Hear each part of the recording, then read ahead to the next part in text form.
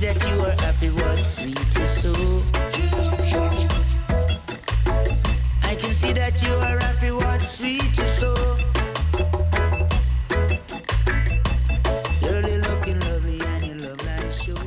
C'est assez sympa, on sent le moteur sous le pied, il y a le bruit aussi, les suspensions. Le fait d'être à l'air libre, et puis on voit aussi qu'on apporte du bonheur aux gens. tout le monde fait coucou, tout le monde sourit. C'est vraiment une autre façon d'appréhender la ville de Paris en voiture. Autrement, vous savez, c'est plutôt l'enfer, la voiture à Paris. Avec une deux chevaux, on a ce petit côté euh,